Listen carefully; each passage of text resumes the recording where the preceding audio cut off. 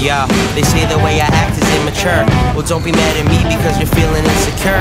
The only golf I ever tried to play was miniature. And when you asked me sign your boots, a smiley face was signature. But my parents raised me right, they were sticklers.